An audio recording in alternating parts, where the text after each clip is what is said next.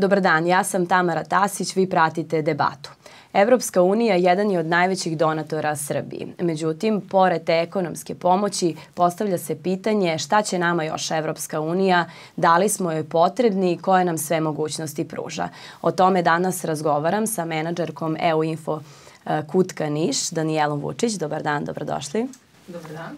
Tu je sa nama i profesor Pravnog fakulteta Ivan Ilić. Dobrodošli. Bolje vas našli. I Ivan Grujić iz agencije Asocijacija. Dobar dan i vama i Dobar hvala dan. vam što ste ovde. Ja bih najpre da uh, krenemo ovu debatu sa uh, najnovim dešavanjima, odnosno ono što se desilo uh, u Briselu. Održana je panel diskusije o budućnosti Srbije u EU i ja ću ovde uh, sada reći šta je rekla premijerka uh, Brnabić uh, tamo. Mi smo ekonomski već deo Evropske unije, na kraju krajeva ne mislim da imamo plan B. Pa bih ja vas pitala, evo možemo da krenemo od vas, a, profesore, ovaj, da li vi mislite da mi imamo plan B? Pa po onome što e, možemo da čujemo od e, naših predstavnika vlasti, tako, ne samo od premijerike, nego i od predsednika, e, mi nemamo, koliko sam ja upućen, plan B. E, Srbija je jasno na tom evropskom putu i to je nešto što ja mislim da je, bar u ovom trenutku, formalno pravno gledano, neupitno. Ono što znamo to je da e, smo mi u procesu pregovora za pridruživanje Evropskoj uniji, da se sada tu otvaraju klasteri, to su nekad bila poglavlja, sad su to grupisana poglavlja u klastere kao neke ovaj, veće klasifikacione jedinice i mi sada pregovaramo. Drugo je pitanje kojim se mi sada uh, kojim se mi brzinom krećemo ka Evropskoj uniji, ali što se tiče plana B, ja uh, nisam siguran koji bi to plan B bio i prosto nisam siguran da bi u ovom trenutku uh, moglo da dođe do nekih prekida pregovora ili da Srbija sada odjednom promeni svoju, svoje stremljenje ka Evropskoj uniji i da kaže evo mi od danas nećemo da idemo ka Evropskoj uniji, ćemo u neku drugu uniju. Dakle, uh, sumirajući odgovor na ovo prvo pitanje, Mislim da u svetlu uh, geopolitičkih uh, dešavanja kakva su sada i imajući u vidu ono što je do sada bilo, odnosno do, onaj put koji smo do sada prošli, mislim da Srbija u ovom trenutku nema plan B. Da li će nek, neki plan B u budućnosti da bude, to zaista ne možemo da znamo. Vidite i sami svedoci smo a, krupnih geopolitičkih dešavanja na tlu Evrope, tako da možda se nešto u tom smislu promeni. Ali ono što za sada znamo i ono što a, je, da kažemo, i platforma vlade, one koje, dakle, sada aktuelne vlade Republike Srbije je da se, Evro, da se mi krećemo ka Evropskoj uniji. Šta vi mislite, gospodine Grujiću? Pa moj utisak je da postoji plan B, samo da se o tome ne govori javno. Znači, Koji? Pa definitivno neka vrsta saradnje sa bliže saradnje sa Kinom i sa Rusijom. Znači vi imate na medijima koje kontroliše vlada stalno neki anti-EU narativ. Znači uh -huh. stalno se pojavljaju ljudi koji pričaju negativno o tome. Imate s vremena na vreme izjave visokih zvaničnika kao što je sad ministar odbrane i formalnog predsednika SNS-a koji kaže da sa komunističkom partijom Kine nemaju nikakve suštinske razlike. Ili da imaju, ne mogu da se setim kako je bila termin, da imaju, suštinski se slažu u svim stvarima. Mislim, to je vrlo nezgodno da vi to kažete, opet oni imaju jednopartijski sistem, imaju totalno drugačije uređenje u odnosu na ono koje mi imamo i kome mi stremimo. Tako da, mislim da se građanima šalju zbunjujuće poruke i meni one deluju zbunjujuće da se koketira sa nekim a, planom B. Kada će on formalno da se ovaj primeni da li hoće to ostaje da se da ostaje da se vide, ali vi stalno imate te neke neobične one stvari koje koje dolaze od od vladajuće stranke. Kako ljudi u vašem okruženju reaguju na to? Jel prate situaciju? Evo, vi ste rekli da postoji, da postoje različite izjave u, u medijima. Da li ih to zbunjuje kao što vas e, zbunjuje? Pa ljude definitivno zbunjuje. Vi imate iz godinu u godinu kada se meri podrška EU integracijama da to pada. Da, da pada broj koji su protiv i da, kako ima ono, ko je za, ko je protiv i ko je neutralan. Znači, rastu protivnici i rastu neutralni. Ovaj, mhm. vreme, postoji ta tendencija. To nije samo od sebe. Znači, na tome se radi, Naravno, postoji neke objektivne okolnosti koje do toga dovode, ali vi imate stalnu kampanju. Dovoljno da pogledate te ključne medije koje su, uh, da kažemo, pod kontrolom vladajuće stranke. Vi imate vrlo često tu anti-EU ovaj, narativ. Uh -huh. Uh -huh. I to sigurno utiče na ljude.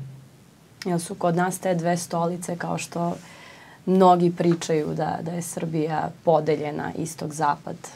Pa, mislim, ono, ja bih volio da pričamo o nekim egzaktnim podacima. Nezgodno samo da kažemo mm -hmm. svom ličnom okruženju, ali čisto kada gledate šta govore najveći ovaj, politički predstavnici države i i šta imate na onim mainstream medijima koji su dobrim delom pod kontrolom vlasti vi imate, vrlo često ta koketiranja sa nekim, eto kao što je vrednostima u jednopartijskog sistema u Kini ili situaciji u Rusiji što ljude dosta zbunjuje i nekako vam šalje poruku da tu postoji neka alternativa, samo se možda čeka neki trenutak, da li će nešto da se desi, kada se desi, tako da ja mislim da ne znam koju reč da upotrebim, da kažemo koketiranje sa planom B, moj utisak je da postoji. Uh mhm. -huh. A, profesor Iliću, kako je sa studentima?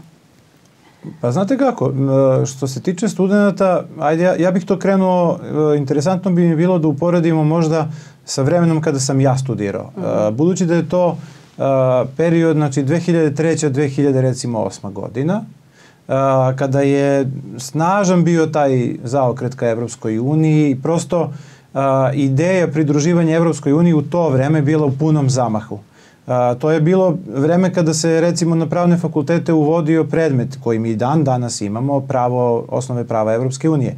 I dan danas je to obavezan predmet mm -hmm. na pravnom fakultetu uh, u Nišu. Uh, I eto, ovaj, sada uh, nekako pod utiskom početka ove naše uh, priče sam se setio tog vremena. Dakle, tada je prosto, da kažemo, taj pro-EU, uh, to stremljenje kod studenta bilo puno izraženo, što naravno ne znači da i tad nije bilo protivnika, prosto vi ćete uvek ima, da imate protivnike. Dakle, euroskepticizam je nešto što postoji uh, i u onim državama koje su mnogo razvijenije u nas i, i, i, i mnogo je izraženiji bio u vreme kada su te države uh, ulazile u Evropsku uniju. Prosto imali ste uh, čitave pokrete koji se zalažu za e, e, protiv evropske ovaj, integracije, pa na kraju krajeva ako pogledate javno mnjenje, recimo u Britaniji kakvo je bilo pre Brexita, ali tako, a, mnogo, a, mnogo ljudi i prosto jedna velika grupa ljudi je zapravo pledirala za izlazak Britanije iz Evropske unije pod geslom zašto bi recimo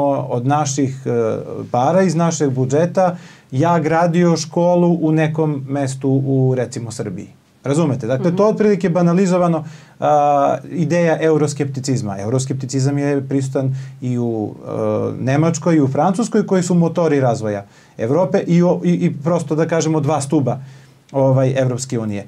Uh, što se sada tiče ovog trenutka, ono, nadovezao bih se na, na, na Ivanovu priču. Uh, ono što mi imamo u medijima je dosta zbunjujuće, to je jasno. Dakle, ako bismo sad komentarisali uh, Šta mi sve možemo da vidimo u medijima, kad kažemo u medijima, ja pre svega mislim na televizije sa nacionalnom frekvencijom, to je nešto može da gleda i stanovnik u Nišu, ali ne samo u Nišu, nego u bilo kom nekom selu pored Niša, ko, ko, ko nema kablovsku televiziju, već ima samo onu zemaljsku takozvanu antenu. Uh, skepti, euroskepticizam je sigurno u narastanju, dakle o, ovaj e, procenat građana koji se izjašnjavaju protiv, da su protiv ulaska u Evropsku uniju i onih suzdržanih raste. I to je očekivano potpuno, a, imajući u vidu da naš proces, proces pridruživanja sada traje već, da kažemo, impozantan broj godina i to je nešto što je prosto očekivano. Ako vi uđete u neki proces koji ne završite, dakle ne okonča se uh, uspehom, tim ciljem, onda prosto sve više i više imate građana koji sumnjaju. S druge strane, svedoci smo da Srbija ima dosta, dosta težak zadatak. Znači, uh, ono što je činjenica, da Srbija ne ispunjava uslove samo u pogledu tih nekih ekonomskih parametara, vladavine prava, smanjenja korupcije itd. itd. Znamo sve šta se u klasterima traži, do onih nekih parametara u oblasti umetnosti i tako dalje, koje su, da kažem, koje ćemo lakše hm. prilagoditi i završiti i zatvoriti ta poglavlja, odnosno klastere. Međutim, Srbija सर्वे में ima jednu bitnu stavku preko toga, a to je dakle norm, takozvana normalizacija odnosa sa Prištinom i to je nešto što je dakle jedan politički uslov. I taj politički uslov nije do sada imalo mnogo zemalja, dakle ajde samo da uporedimo recimo, aj, ja najviše nekako volim Bugarsku i Rumuniju. Dakle, znamo i sami da se tu dosta odstupilo od onih strogih i krutih standarda koje Evropska unija postavlja. Ja duboko sam uveren da se išlo, dakle, legi artis, kako se to kaže, da Rumunija i Bugarska ni dan dana sigurno ne bi završile proces pridruživanja, tu su bili neki drugi geopolitički faktori, S druge strane smo svedoci i toga da i Rumunija malo manje ima sada problema, a Bugarska malo više, pa da čak se i suočava sa pojedinim sankcijama od strane Evropske unije zbog korupcije, zbog umešanosti najviših političkih zvaničnika u korupcionaške afere i tako dalje i tako dalje. Dakle, Srbija ima malo drugačiji put, iskreno nisam siguran kako će taj put da se završi, baš zbog tog političkog uslova i s druge strane, dakle, to vidim kao jedan od faktora koji a, nam daje povećani euroskepticizam. Ono čega se ja bojim, da ukoliko ovakva situacija potraje, znači da se mi ovde vidimo za, ne, na primjer, pet ili deset godina, i da pričamo opet o, da smo od danas do tada zavorili, zatvorili možda jedan klaster, a nam je ostalo još ne znam koji, i da za deset godina mi opet ovde pričamo o tome da Srbija nije normalizovala odnose sa Prištinom, odnosno sa takozvanim Kosovom, mi ćemo uh, imati situaciju da će taj broj euroskeptika, odnosno onih građana naših koji se izjašnjavaju protiv ulaska u Evropsku uniju da bude mnogo, mnogo veći. I to mislim da je jako veliki problem. Dobro, uh, ovaj, nedavno je, odnosno sad juna je izašao ovaj polugodišnji izveštaj Evropske uh, komisije uh, i upravo u njemu uh, ovaj, piše da su problematične oblasti ostale problematične da se tu javlja, pogotovo kada je reč o poglavljima 23 i 24, da se javlja pritisak na pravosuđe, da je ovaj, po strani borba protiv korupcije, organizovani kriminal i naravno mediji. 23 i 24 poglavlja, znači pravosuđe, osnovna prava, pravda, sloboda i bezbednost. Kako vidite situaciju da se iz godine u godinu ne menja taj izveštaj, odnosno da su nam te oblasti na jednom niskom nivou? gospodine Goriću? Pa, meni je to jasan signal da neko ne želi da se bavi tim problemima. Znači da mu odgovara status quo, ovaj, taj, taj, taj što jeste i da neće da, da se bavi time. Znači mi ne napredujemo tim stvarima koje možemo da napredujemo, a kamoli u ovako težem pitanju kao što je Kosovo. Mada mogu da, onako, svi razumemo da je Kosovo jedno teško političko pitanje, ali, na primjer, ljudi koji imaju iskustvo u biznisu, oni se bave rešavanjem teških i neobičnih problema stalno. Tako da ako vi hoćete da rešite taj problem, vi ćete naći rešenje. To je jedno od osnovnih uh, pravila u biznisu. Ako nećete da nađete rešenje, vi ćete naći onda neki izgovor zbog čega niste to rešili, okrivit ćete drugu stranu, treću stranu ili šta kako god. Znači, po meni, nedostatak napretka u svim tim delovima je u stvari znak da mi realno, makar ljudi koji vode trenutno Srbiju, ne žele ovaj, da se iskreno posvete EU integracijama. Jer EU integracijama znači manje moći, više kontrole, manje uticaja, manje zloupotreba para i tako dalje i tako dalje. Jel vi mislite da je to, pošto ste pomenuli uh, biznis, da je uh, ta, ovaj, da su integracije sa Europskom unijom biznis? Ba ne, ne, ja sam naveo kao primjer u biznisu gde i neko svoje iskustvo, recimo, koje imam, vi uh mhm. -huh. stalno, ne, mislim, kao Kosovo, Kosovo je stvarno uh, težak problem i, jedinstven problem. Ali vi svako ko krene neki svoj biznis, još pogotovo ako je to start-up, on stalno ne, nailazi na atipične, ogromne probleme. -huh. I onda vi sta, fokusirate se konsultujete se sa drugim ljudima, radite na tome, nekad vam i treba malo više vremena to radite, ali vi rešite taj problem ili ga ublažite, ako hoćete njime da se bavite.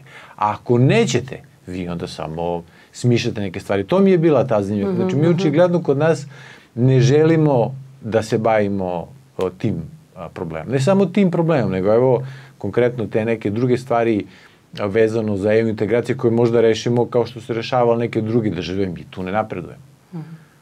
A kako sada, pošto to nam niko nije kriv. Mm -hmm. Kao najveći problem i jeste situacija, odnosno odnosi sa, sa Prištinom. Kako gledate sad ulogu Evropske unije u, ovom, u eskalaciji sukoba na, na Kosovu, takozvanom Pa dobro, Kosovu? ljudi se truje da nađu, na, nađu neko rešenje, samo u suštini treba da pokažu zbiljnost prema... Jel ima udela tu Evropska unija? Pa sigurno. Pošto verujem. su, uveli su i sankcije određene. Pa verujem, verujem. Verujem da, da, ja se nadam da će naći neko rešenje. To je, ovaj, ima toliko primjera kroz istoriju gdje je diplomatija naša neka, onako na izgled, neverovatna ovaj, rešenja, ali su ljudi razgovarali, probali jedno, probali drugo i našli su neko rešenje. Verujem da će se naći neko rešenje. Šta vi mislite, profesor? Pa, rešenje uvek može da se nađe. ono što ja mislim da... Šta prethodi rešenju? O, rešenju prethodi volja obe strane ili svih strana koje su involvirane. A ovde imamo više strana involviranih, znači mi imamo situaciju da je pregovarački proces između Beograda i Prištine prebačen pod okrilje Evropske unije, odnosno, da kažemo, glavni pregovarač, odnosno glavni posrednik u pregovorima Evropska unija. I svedoci smo da je to ranije bilo pod okriljem Ujedinih nacija, pa je tu Amerika imala malo većeg, direktnijeg, rekao bih, udela i tako dalje. Ono što moramo da kažemo, to je da od kada je došlo do te promene, dakle od kada su pregovori pod direktnom kontrolom Evropske unije, moramo da priznamo da je malo toga postignuto, osim na nekom tehničkom planu. Na tehničkom planu jeste postignuto, potpisani su neki sporazumi, a, mogu da vam kažem eto iz prve ruke da na terenu situacija je mnogo bolja nego što možemo da vidimo u medijima, jer ja svake godine idem na područje Kosova i Metohije, idem u Kosovsku Mitrovicu na naučnu konferenciju kod naših kolega i prijatelja sa uh, pravnog fakulteta u Prištini sa privremenim sedištem u Kosovskoj Mitrovici, dakle tamo život u principu normalno teče. Ove stvari do kojih dođe povremeno, uh, koje su uh, dakle takozvana eskalacija sukoba i tako dalje, vrlo često se meni čini, kažem čini mi se, ne zauzimam stav, nego mi se čini da je prosto indukovano i da se želi da se skrene pažnja s nekih drugih ekonomskih problema ili vrlo mi je čudna koincidencija do kada dolazi do te ne, takozvane eskalacije. Mm -hmm. Dakle, ne, neću da idem sad u neku teoriju mm -hmm. zavere, da ne odemo predaleko, ali mi je vrlo čudna koincidencija kada do toga dolazi i kakvu povezanost ima sa nekim globalnim poli, političkim promenama ili promenama u našoj državi koje se dese, pa baš tada bude ta neka eskalacija i tako dalje. Ono što, ono što treba da, da, eto kao što recimo bilo pitanje sa prelaskom, ako se sećate prošlog ili pretprošlog leta se a, pojavilo pitanje prelaska zbog a, automobilskih tablica. Uh -huh. Šta je tu bio problem? Ja sam slučajno napisao na nekom portalu koji ovaj, se zapravo bavio nečim sasvim drugim i gde se, su se javljali Albanci sa Kosova.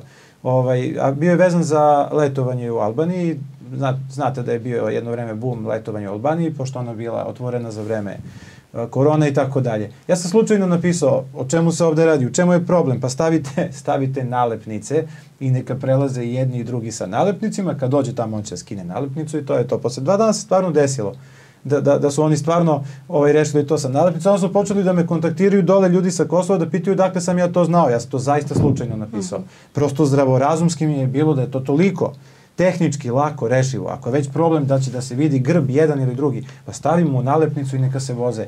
Normalno, ekonomski interes je ogroman i njihov i naš. Ja ne znam da li uopšte su uh, građani, da li prosječan građani uopšte, uopšte zna koliko zapravo robe izvozimo na Kosovo i koliko imamo mi ekonomski interes od nekih uh, isto proizvoda koje odande dolaze.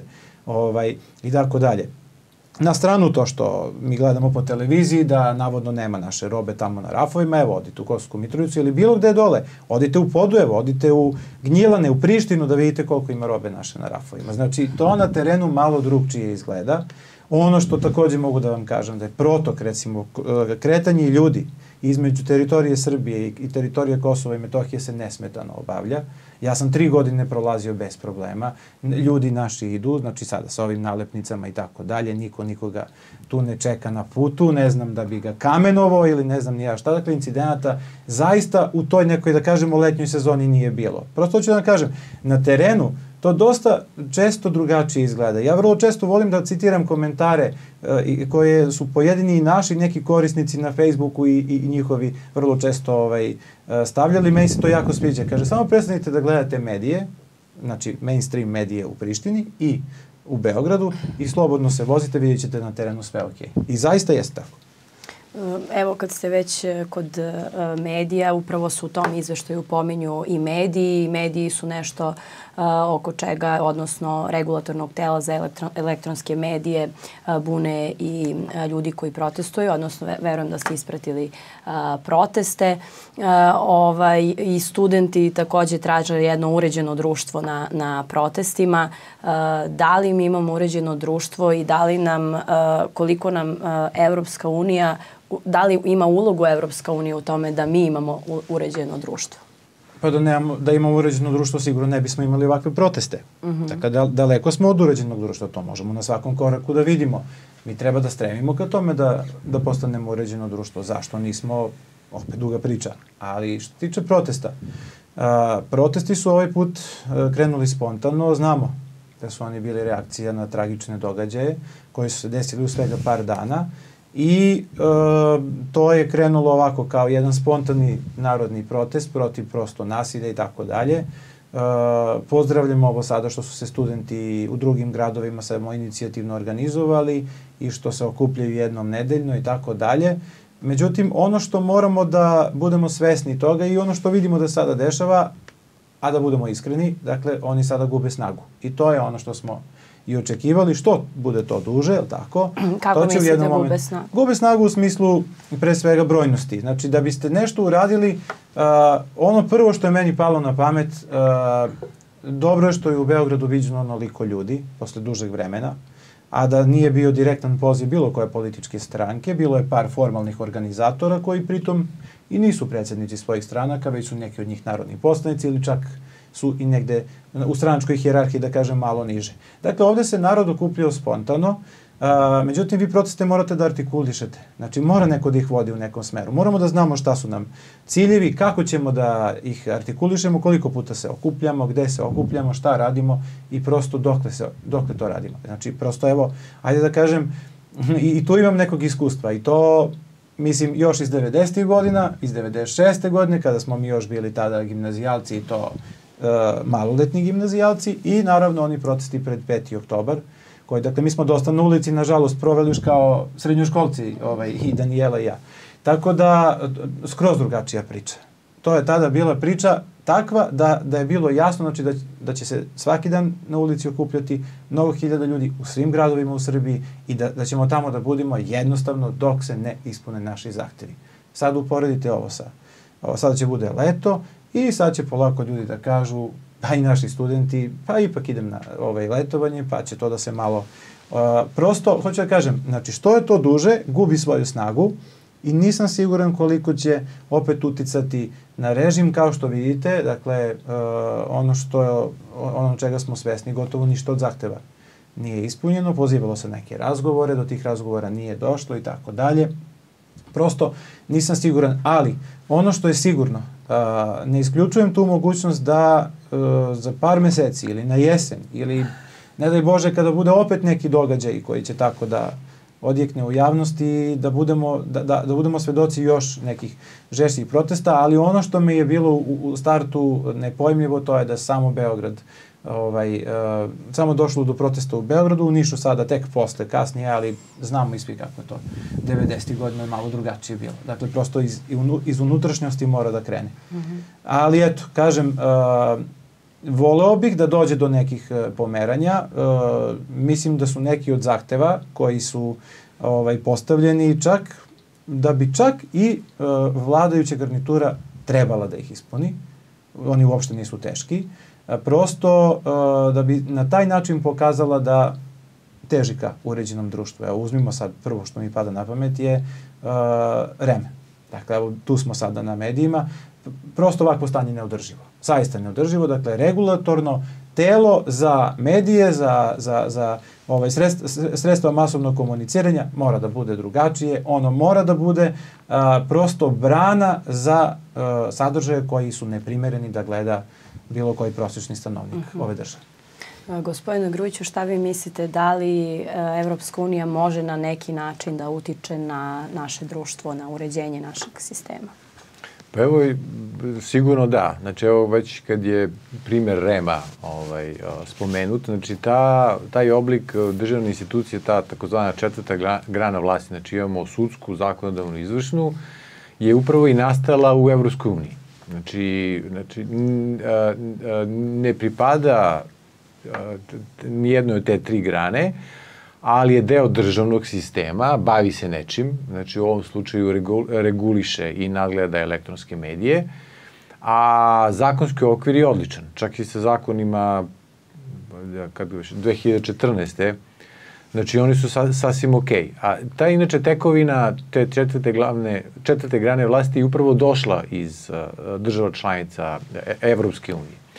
I uh, taj REM je tako zamišljen da tamo u tom savetu REMA budu predstavnici različitih društvenih grupa. Što verskih zajednica, što udruženja građana koje se bave zaštitom dece, slobodom izražavanja, akademske zajednice, nešto, nekog jednog kandidata pred, predlaže uh, Skupština Vojvodine, neke predlaže Skupština Srbije i tako šarenolik treba da uh, predstavlja naše, da kažemo, šarenoliko društvo sa nekim, da kažemo, naj, uh, značajnim zainteresovanim stranama. On u stvari je jedna od najgrđih perjanica vlasti a opet nije deo Ministarstva kulture. Znači, oni se branje time, ne, ne, pa nije to, ne znam, vladina agencija ili tako nešto. Ali kad pogledate u praksi, recimo oni uz brojne neke a, propuste, jedan od najočiglednijih propusta im je kad su raspisali konkurs za petu frekvenciju i prijavili su se televizije i oni nisu doneli nikakvu odluku.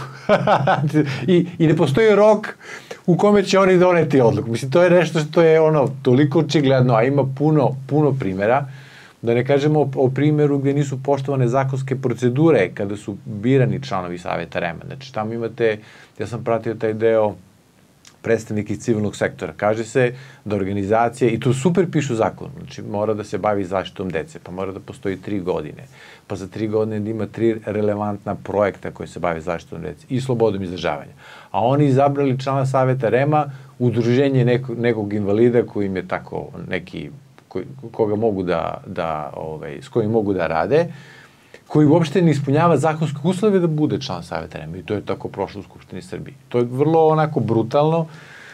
Ovaj, a, a, ja se nadam, mislim, svi izveštaji Evropske unije spominju loš rad regulatornog tela, e sad da li će to da se promeni, to kad bi se promenilo, to bi onda a, i tekako promenilo medijsku sliku u, u Srbiji, a to naravno ljudima koje vode ove državu nikako ne odgovara politički, to je jasno. I vrlo je teško doći do tih promena. Naravno, ne treba odustajati od toga, ali, ali taj, taj REM ili, ako se sećate, one skraćenice RRA, Znači, sad kad bi nekog pitao, kakvu imate situaciju ako čujete RRA, pozitivnu ili negativnu, ne znam da bi se našao neko ko bi imao pozitivnu emocionalnu reakciju. Tako da, i kad bi napravili neku anketu među građanima, kad čujete REM, kakva je reakcija, to bi odmah bilo, ljudi se neko streše. I eto, to vam je jedan dobar, da kažemo, emotivni pokazatelj kako oni rade. Da pređemo na još jednu temu, odnosno nedavno isto završena Evropska nedelja uh, mogućnosti. Uh, pa bih vas pitala a, kako je prošlo, kakvi su utisci i da li su građani u Nišu zainteresovani za programe Evropske unije, za fondove, ove, koje sve fondove nudite? Da, hvala puno na, na prilici eto da podelimo zaista sjajne utiske sa nedavno održane Evropske nedelje mogućnosti, čija je negde bila i zamisao, prosto i ne, negde naša kancelarija, a, odnosno i cela naša EU info mreža kao informacion, mreža informacionih centara delegacije Evropske unije u Srbiji ima za cilj da upravo ceo ovaj proces koji je de facto politički, birokratski, pre svega a, i u najvećoj meri prevedemo na taj neki razumljiv jezik potreba građana, potreba šta ja kao mlad čovek, kao student, kao nastavnik, kao uh, start-up, uh, kao poljoprivrednik imam ili mogu imati od Evropske unije. Dakle, um, komuniciranje evropskih integracija nije, evo i sad iz ovoga što smo do, do sada čuli, zapravo nije uvek lako, ali kažem, uve, trudimo se da, da prosto u prvi plan istaknemo sve ono što jesu mogućnosti za naše građane, iako mi još uvek nismo zvanično članice Evropske unije i te kako ima puno mogućnosti, puno programa i puno fondova, a njih će ulaskom u Evropsku uniju biti još više i zapravo je to jedan proces za nas i pripreme i naših kapaciteta, jačanje naših znanja i u svakom drugom smislu. I upravo je ovo Evropska nedelja mogućnosti bila jedinstvena prilika da se na jednom mestu tokom pet dana koji su fizički održani u Beogradu, Nišu i Novom Sadu, a zapravo su sve sesije bile date i mogućnost online praćenja, spoje na jednom mestu i predstave svi programi, fondovi, dakle ljudi koji ih vode, zatim korisnici programa koji iz prve ruke mogu da prikažu svoja iskustva, tako da preko 3.500 ljudi koje je a, pratilo nas online ili 1800 koje je prošlo uživo i bilo sa nama u, u ovim gradovima zapravo a, govori u prilog činjenici da ljudi jesu zainteresovani. Um, ono što je, kažem, jako Evropska nedelja mogućnosti završena, ono što je dobra stvar da ove mogućnosti ostaju, dakle ti programi su i svi fondovi i dalje aktivni. Mi smo u, um, u kontekstu ove konferencije pripremili portal eumogućnosti.rs, tako da će sve ove infosesije kojih je bilo preko 100 i panel diskusija biti a, postavljene i online, tako da svi koji nisu mogli da, da, da proprate moći će naknadno sad ukoliko ih a, a, nešto interesuju. Teme su bile a, iz ekonomije, biznisa, poljoprivrede, obrazovanje, mladi, sport, kultura, medije, organizacije civilnog društva. Svaki dan je bio tematski podeljen sa programima koji se baš tiču a, tih, tih tih tematskih oblasti. Mi smo jako ponosni što je Evropska nedelja mogućnosti završena u Nišu. Tema je bila lokalno ekonomski razvoj, prekogranična saradnja. Pre svega, tokom same takođe nedelje potpisani su i važni dokumenti, pa je recimo u Nišu potpisani trilateralni sporazum o programu prekogranične saradnje Srbija-Severna Makedonija i bez obzira na sve ove probleme koji smo i tekako svesni i na, na istraživanja koja govore u, u prilog rastućem euroskepticizmu, u našu kancelariju kada dođu ljudi koji su prošli Erasmus program ili program Rajko ili bilo koji drugi, oni su uh, svi do jednog zaista puni iskustva, punih lepih reči i tu onda vidite kako sva ova neka uverenja padaju u vodu. Znači neka emotivna ili neka druga uverenja koje stičemo kroz medije prosto ljudi i njihova direktna iskustva govore u prilog tome da su prosto učešću ovim programima za njih puno značilo lično, profesionalno, da su stekli prijatelje širom sveta, da su savršili jezik, da su dobili novu ideju, novog partnera za naredni projekat i zapravo to jeste negde um, i suština uh, celokupno ove pomoći. To kažem uvek govorimo o, um, ja sad ne govorim o ciframa i ni o konkretnim programima, ali tu jesu, uh, je važna finansijska pomoć, ali nije samo to. Dakle, mislim da je mnogo važnija ta saradnja koja se dešava između aktera iz Srbije i Evropske unije, da je tu razmena ideja, razmena znanja, veština, da su to partneri, kažem, sa kojima onda samo dalje nastavljate, nastavljate priču. A za koje programe su najviše građani zainteresovani? Verujem da je jedan od njih Erasmus za da. studente. Ovaj, šta još tu možete da kažete? Koje, koje programe konkretno nudi da. uh, Evropska unija? Kao što rekoh, mi smo podelili samu konferenciju na tematske dane, pa eto pozivam sve koje, i onda smo imali ekonomija i biznis, dakle ukoliko imate preduzeće bez obzira koje je ono veličine, da li je malo srednje, start-up, da li uh, se bavite poljoprivred, znači bez obzira, kažem, koja je negde vaša oblast delovanja, Vama su, imate mogućnost za bespovratnu uh, podršku, za podršku vidu uh, povoljnih kredita, za mentorsku podršku, tako da kažem, to su različiti programi i oni svi postoje i na sajtu EU za tebe i na portalu EU mogućnosti, kažem, tu su infosesije gde, uh, gde su detaljno predstavljeni svi uslovi, kažem, konkretne mogućnosti.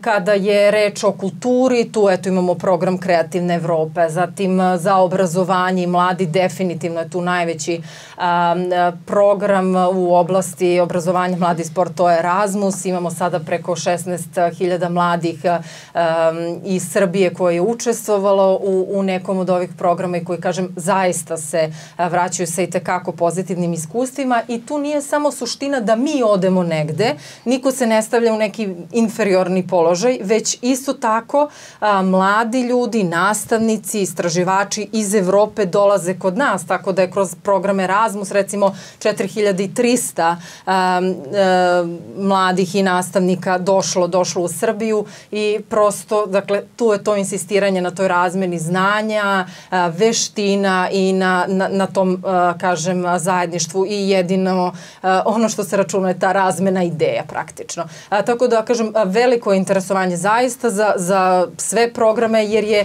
a, i, i sama ova Evropska nedelja mogućnosti, na primjer, evo mi, ona je završena prošle nedelje, ali nama svakodnevno u kancelariju dolaze ljudi i nekako mislim da smo ih podstakli, bila je velika i medijska kampanja i kažem evo pet dana tranja svim gradovima i online sesije, da su se nekako ljudi ohrabrili, da su čuli i neke druge priče i da je upravo poslata poruka koju smo um, i želeli da prosto ako ja imam poslovnu ideju ili um, ne, ako radim u lokalnoj samoupravi, ako sam poljoprivrednik ili šta god, da prosto razmislite da vidite šta tu ima za mene, jer kažem, mogućnosti prilika uh, zaista ima. Ove, ja sam u najavi rekla da je Evropska unija jedan od najvećih donatora uh, Srbiji, pa i mnogi građani uh, i postavljaju stalno pitanje šta će nama Evropska unija, neki su za, neki su protiv. Šta biste vi rekli uh, građanima, ali i vašim studentima ako vas neko pita, pošto se uh, ovaj, često plasira taj odnosno naš put ka Evropskoj uniji, šta biste vi rekli, šta će nama Evropska unija? Pa prvo, e, ja bih rekao Tamara da nije samo vel, najveći donator, nego i najznačajniji spoljno-trgovinski partner Srbije. To je možda i značajniji. A pored toga i donator. A, kao što smo malo pre već i naglasili, veliki je broj tih fondova. Ono što nije dobro kod toga, kod tih fondova, što je iskorišćenost, evo, to je isto, na primjer, nešto za istraživačko novinarstvo vrlo zanimljivo, recimo, istražite, recimo, koliko se od raspoloživih fondova, recimo, koristi, dakle, u Srbiji, koliko ima neiskorišćenih sredstava, mnogo veliki procenat, vidjet ćete, frapirat ćete se, koliko se malo od onoga što možemo koristi kroz neke projekte. Znači, nije a, prosto a, prosječan građanin u ovoj državi ni obavešten, niti je a, dakle, upoznat sa time šta sve može. Sada u ovom trenutku da dobije od Evropske unije gde sve može da aplicira i šta može da bude dobro za njega. I od, mislim i na poljoprivrednika, Tako. i na, u start-upu, i u ekonomiji, i u biznisu, gde god hoćete, i u obrazovanju, svuda. Dakle, mnogo malo koristimo i sada fondove, koji će naravno mnogo biti veći jednoga dana ako postanemo članica Evropske unije. Šta bismo mogli da kažemo? Pa eto, evo, šta, šta možemo da kažemo za Evropsku uniju? Možemo prvo da kažemo da je Evropska unija uh, tvorevina koja je nastala posle drugog svetskog rata i uh, prvi njen najvažniji benefit je taj da je dakle obezbedila mir u Evropi dakle od 45. godine, al tako do današnjeg dana na tom prostoru koji obuhvata zemlje sadašnje članice Evropske unije, Dakle, nije bilo nekog velikog evropskog rata. To je prvo što treba da kažemo. I to je veliki e, benefit ako se vratimo istorijski, toliki vremenski razmak između velikih katastrofa nije bio. Znači ona je u tom smislu pre svega tu svoju bezbednostnu ulogu svoju ostvarila. S druge strane, i ekonomska e, funkcija uh, je jako bitna. Malo pre smo u najavi se i šalili da je ona nastala kao ekonomska zajednica, kasnije, dakle, sa novim ovlašćenjima postala kao Evropska unija, sa jednom vizijom koja je bila ovako malo futuristička, da to postane jednog dana e, savez, veliki savez ili čak unitarna država, to su neke utopijske ideje, do toga sigurno neće doći, ali ono što je uh, jasno, pogledamo samo, dakle, životni standard u bilo kojoj članici Evropske unije i životni standard u bilo kojoj susednoj uh, državi koja nije članica Evropske unije, bit će sve jasno. Znači, svi ekonomski parametri, svi pokazatelji pokazuju, dakle, da je za običnog čoveka život u Evropskoj uniji mnogo bolji. Ja tako? I Zato ljudi što- to prepoznaju. Tako je. I ovi baš koji nisu evroskeptici, da. kada im je pitanje Da. gde vidite sebe ili gde biste živjeli, to jesu zemlje zapadne Dakle, Evrope. to su zemlje zapadne Evrope i uh, prosto ne moraju da budu zemlje zapadne Evrope. Ajde da uzmemo našu, da kažemo, uh, evo, pričali smo nešto, u, sad je letnje vreme, veliki broj naših građana se zaputi za Grčku. Samo uzmite, dakle, svaki naš građanin, a eto koliko miliona uh, Srba letuje u Grčkoj, treba, kada letuje tamo, treba na svakom koraku da vidi koliko je, uh, recimo, Grčka kao država dobila od Evropske unije. Uzmite samo autoputeve. Svi autoputevi su uh, tamo sagrađeni iz sredstava Evropske unije. To piše i dan danas na tablama. Dakle, onaj autoput koji ide tamo ka Jonskoj obali, je, on je e, prosto fenomenalan. Samo pogledajte, ima, još uvek stoje dan danas table. Kolika je cifra u pitanju i ko je, dakle, tu cifru obezbedio, oni ne bi imali taj autoput. Ljudi su mi pričali nekada kada su hteli da Celokupan posle- iznos. Tako je. Dakle, kada se išlo na krv, nekad su mi ljudi pričali, recimo naši roditelji ili ne znam, da se išlo ne znam koliko sati da biste došli do igumenice da uhvatite trajekt na krv i bile su neke krivinčine i tako dalje. Da. Danas idemo jednim modernim autoputem. Izgradila ga Evropska unija. Dakle, ogromne su mogućnosti, ona naravno ima i svoje neke uh, ovaj, mane, ima svoje neke negativne strane, ali opet ono što se pokazalo, dakle, da je to jedan veliki sistem i vi kada uđete u taj jedan veliki sistem, prosto taj sistem ima mehanizme kako da i novopridošlu članicu, dakle, prosto uh, održi, da je, uh, ajde da kažemo, osnaži u svim tim oblastima. Ono što mene tu plaši, to je što ja nisam siguran kako, mi, kako ćemo mi da dođemo do tih standarda da bismo jednog dana dobili zeleno svetlo da kažu, e, vi ste sada sve ispunili, vi sada možete u Evropsku uniju. Ne plašim se ja za period posle toga. Kad uđete u Evropsku uniju, onda sve ide lakše. Prosto vi imate normative koje morate da poštujete i tu se više ne postavlja pitanje. Evo to vidimo i kod, nasih, kod naših istočnih suseda, kod Bugara i kod Rumuna. U, u Rumuniji je bilo isto, da, do, do, možda pre 20 godina nepojmljivo da neko od najviših e, funkcionera odgovara za korupcionaške afere. A pogledajte sada, hapse se tužioci, ministri i tako dalje. Dakle, prosto vladavina prava je na jednom višem nivou. Pa evo i u Bugarskoj, posle tih nekih afera. Dakle, ti ljudi će odgovarati za to. I neće više nikome da padne na pamet da zlupotrebljava fondove Evropske unije da novac iz uh, evropskih projekata šalje na svoje privatne račune u neke treće države. Znamo o kome se radi i bio je premijer bugarski dan danas je, vodi se postupak i tako dalje. Znači, A, ono što ono što treba ono što treba reći a, vezano za Evropsku uniju. A, mislim da a, prosto trenutno je situacija takva da je možda malo ovako opao taj elan a, u vezi sa Evropskom unijom, ali opet mislim da će možda eto i razvoj nekih a, geopolitičkih a, zbivanja u narednom periodu možda da pomogne da se ponovo taj a, da taj ovaj prosto proces dobije svoj zamah. Ono što takođe nije dobro, što ni vodeće uh, države ovaj, zapadne Evrope nisu baš sasvim načisto, tu smo svedoci toga da Francuska nije baš sasvim načisto, kao jedna od najznačajnijih faktora, dakle i članica, koliko brzo treba ići sa proširenjem. Ali to ne znači da mi treba da stanemo. Mi imamo prosto svoj put i treba da se trudimo da svaki od tih već otvorenih klastera, da tu bar napredujemo, da pokušavamo. I tu bih se samo nam dovezao nešto što možda nismo malo pre rekli. Ivan je u jednom trenutku rekao dobru stvar. Mi imamo odlične zakone.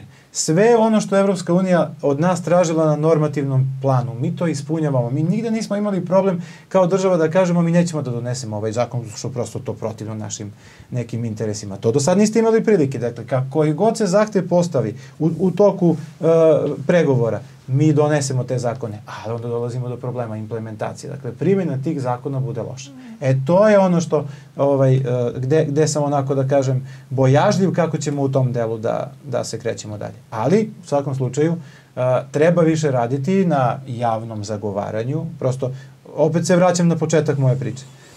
Uh, I sećam se perioda, 2003. četvrte, pete, pa to je bio prosto jedan elan, to, mi smo na fakultetu imali uh, stalni seminar za pridruživanje Evropskoj uniji, gde su se u uh, nekim vremenskim, kraćim vremenskim intervalima dovodili predavači koji su za naše studente prosto uh, ovaj, držali predavanja na različite teme, ali sve su bile vezane za evrointegracije. Pa smo tako ugostili bili i Tanju Miščević, i, i, i Vesnu Knežević, Predić i tako dalje. Dakle, to su i dan danas ljudi koji učestvuju u procesu evrointegracija. da, Sada toga nema. Sada toga nema i to je nešto što pokazuje da je dakle taj elan značajno opao. Šta vi mislite, gospodine Grujiću? Pa ništa, ja bi samo... Šta će nama Evropska unija? Da, ja bi samo podvukao isto ovaj značaj broj 1, znači to je mir. Znači, stvarno... Bezbednost. Bezbednost i mir i, i mi vidimo sad u tom periodu nekoliko decenije da je, da je Evropska unija stvarno smanjila te neke antagonizme koji postoje između država na evropskom kontinentu koji je stalno dovode do nekih većih ili manjih sukoba. Znači, to je broj 1. Broj 2 je biznis. Znači, ajde da ne idemo mnogo ovaj, daleko u prošlost, ali recimo u srednje veku vi ste na jednom feudalnom posjedu imali sve otprilike što vam treba da, da, da živite. Pa su onda ti feudalni posjeti bili suviše tesni, pa je onda ste imali nacionalne države gde se razvio biznis. E sada ovaj, nacionalne granice su odavno tesne ovaj, za biznis. I on kada se širi, kada traži svoje a, poslovanje, on traži neke nadnacionalne organizacije, tvorevine, pravila rada, kretanje radne snage, zaštite intelektualne svojine i tako dalje i tako dalje, sudska zaštita i tako dalje i tako dalje, da bi on mogao da se kreće, da bi mogao da se, da, da se, da se razvija. Znači evo ja gledam iz svog nekog primjera kada smo bili slali uh, neku prijavu za zaštitu industrijske svojine. I sad vi imate neka naravno kad ste mala firma ne možete da pokrijete sva tržišta sveta, nego uglavnom se fokusirate na neka najveća. I onda kao ajde gde ćemo da šaljemo prijavu, neka to bude uh, ova Amerika, Kina i Evropska unija. Mi uopšte nismo registrovali Britaniju kao, kao, ovaj, ovaj, kao, kao mesto za, za, za slanje prijave. E sad zamislite iz ugla nekog drugog ko treba da šalje, da li će onda registruje Srbiju, Makedoniju ili Bosnu. Nema šanse, nevidljivi smo. Znači, totalno smo nevidljivi. Gledajte samo one gro nekih servisa, ne znam, Amazona, Googlea, koji uopšte su nevidljivi, znači vezano, vezano, koje bi razne neke koriste mogli da imaju što naša privreda, što uh, ovaj, pojedinci, uh, odnosno fizička lica. Tako da, uh, te su dve ključne stvari. Znači, mir i ovaj, razvoj, razvoj biznisa i, i, i posla. Eto, to su po meni dve. A šef delegacije EU je u emisiji 15 minuta, koja je emitovana skoro kod nas, rekao da bismo potpunili Evropu, treba nam i Srbija. Zašto smo mi potrebni onda Evropskoj uniji? Evo, nešto smo govorili tokom emisije, ali evo da odgovorite na, na ovo pitanje sad opet. Zašto smo mi potrebni? Oni kažu da im imamo otpornu ekonomiju. Da li, se, da li ste saglasni? Pa ja sam sigurno saglasan da mi jesmo potrebni, samo nisam siguran da li su oni saglasni da smo i mi potrebni. Uh, budući da uh, nisam primetio taj neki snažan, uh, to jeste isto ranije bilo, dakle u nekom ranijem periodu se možda i osetilo da prosto Evropa želi da da ovaj, Srbija postane deo te takozvane evropske porodice. Međutim, e, sada u ovom, u, u sadašnjem, dakle, e, trenutku i imajući u vidu celokupan ovaj razvoj situacije i sve ono što je prethodilo, počevi od korone i tako dalje, Uh, a i tektonske promene i u samoj Evropskoj uniji. Dakle, i kažem, opet taj euroskepticizam, odnosno skepticizam ka prijem novih čla, članica ide i iznutra. To, toga moramo da budemo svesti. Znači, ima toga. To opet nije nikakva priča sad koja se pojavljuje, nego prosto i evropski zvaničnici imaju takve izjave, koliko brzo ići sa proširenjem i, i tako dalje. Drugo uporedite recimo zaista koji su uslovi bili za ne, nekada za države da se tada pridruže, a koji su sada. Dakle, mnogo su stroži uslovi, to je potpuno jasno i to je nešto što uh, treba uzeti u obzir. Daj Bože, ja kažem, uh, najviše bih volao da je to iskreno, Mislim da bi i od strane Evropske unije Srbija morala da dobije malo veći zamah i tako dalje. Uh, ajde da sada ne ulazimo u pitanje. U kom smislu, pošto stalno imamo izjave predstavnika pa, Evropske unije da bi oni želeli da Srbija Pre svega u pogledu ovog uslova ovog političkog, ja zaista, ajde, i pričao sam, mislim, i ranije moguće da je bio taj neki prilog koji smo baš radili sa, sa vašom produkcijskom kućom, a, ja zaista ne razumem. Zaista ne razumem zbog čega je potrebno da se a, jedna država primi u Evropsku uniju nakon što će potpisati nekakav pravno obavezujući sporazum kojim se odriče dela svoje teritorije koji je potpuno nepotreban.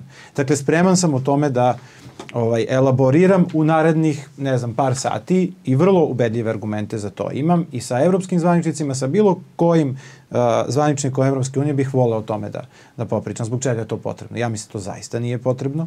Dakle, uh, ono što imamo na terenu to je da Srbija ne ostvaruje suverenitet na toj teritoriji, to je sada teritorija koja je pod međunarodnom upravom, zaista mi nije jasno zbog čega bi se pred Srbiju postavljao uslov da prizna deo, ocepljenje dela svoje teritorije. To prosto ne može niko da učini. I ako to bude uslov, mi ćemo se baviti time narednih 5, 10, 15, 20 godina. Prosto e, taj pritisak iznutra će biti takav da će dovesti do katastrofalnih posledica. A, ima drugih puteva i te kako ima drugih puteva. Dakle, normalizacija odnosa ne mora da znači međusobno priznanje uopšte.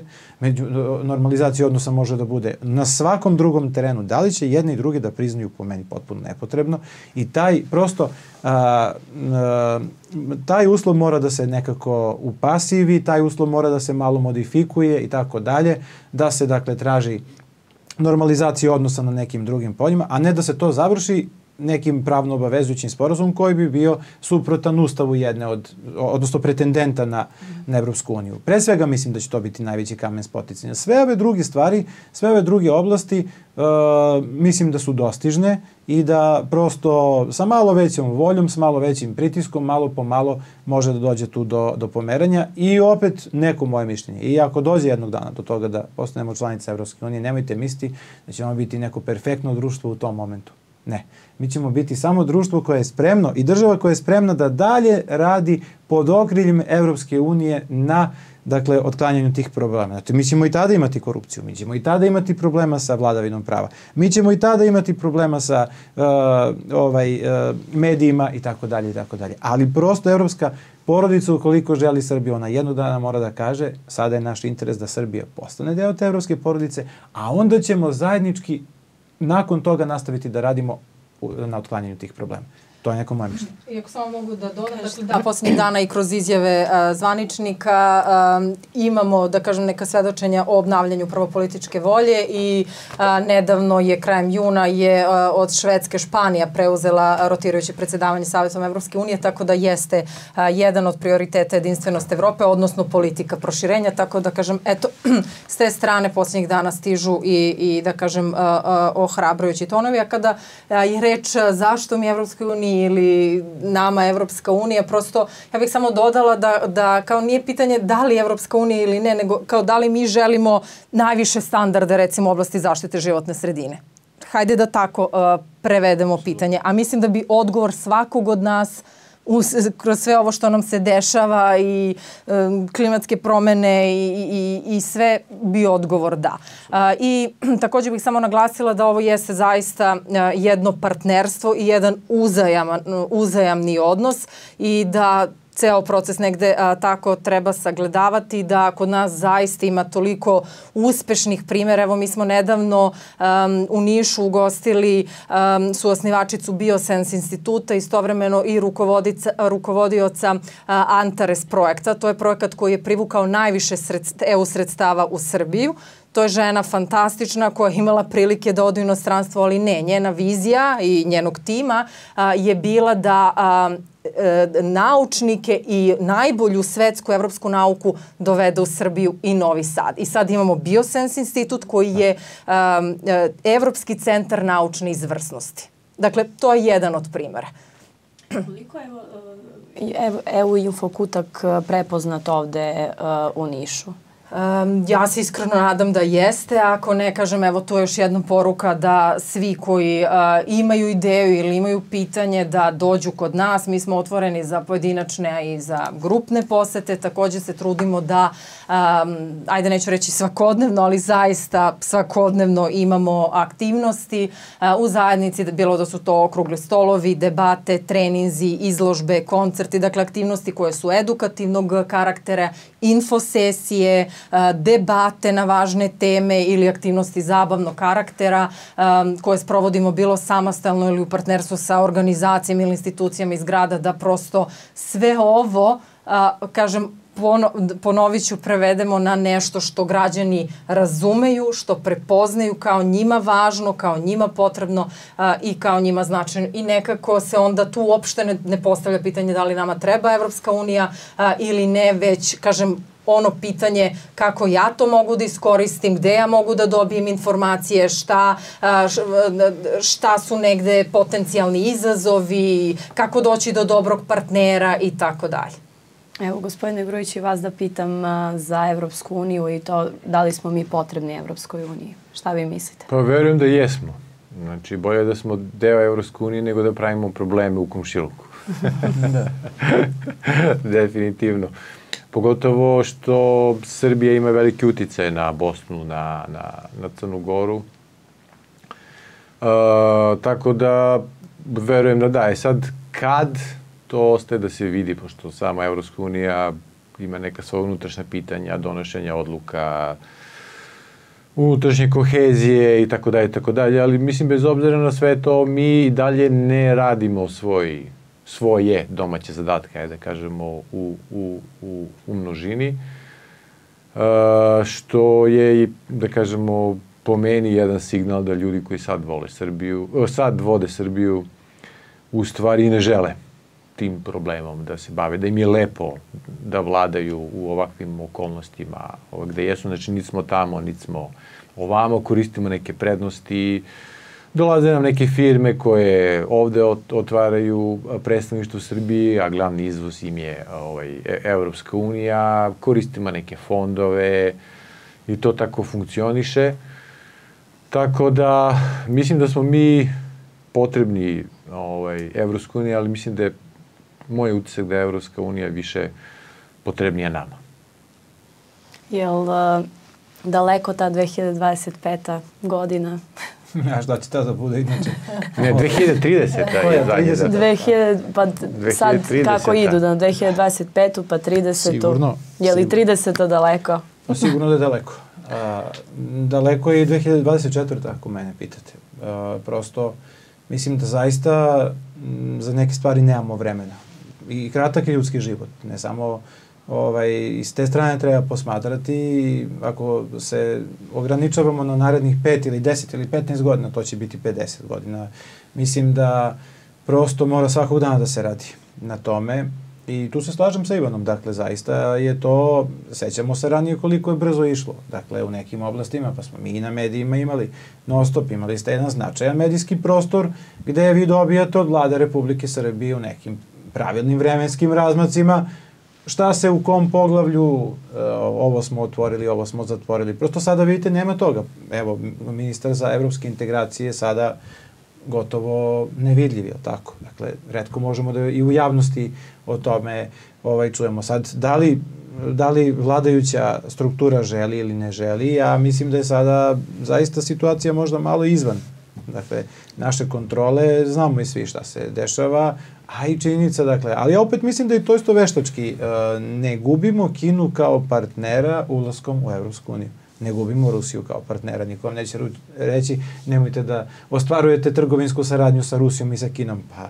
u toj Evropskoj uniji imate brojne kineske firme i, i, i e, dominira kineska proizvodnja i tako dalje. Dakle, prva ali, u ali niko u Evropskoj uniji ne kaže, znači predsednik uh, najjače političke stranke ne kaže da mi imamo iste suštinske vrednosti sa komunističkom partijom. Da, naravno. Vrednosti su, biznis je biznis, ali vrednosti su vrednosti. Apsolutno, ali ja bih tu izjavu opet tretirao kao dnevno političku i da je ona u populističkom smislu izrečena. Mislim da zaista, dakle, i tekako imamo, ostvarujemo testnu saradnju sa Evropskom unijom, to je jasno, pa evo i e, govori o tome i e, učestalost poseta naših zvaničnika Evropskoj uniji, samo što mislim da zaista u eurointegracijama dosta sporo idemo a ono što je činjenica da iznutra možemo mnogo toga da popravljamo. Naravno da, i kineske fabrike da, da, ali uz poštovanje svih standarda. Dakle, ne može da dođe kineska fabrika da ne poštuje nikakav standard i da zagađuje životnu sredinu.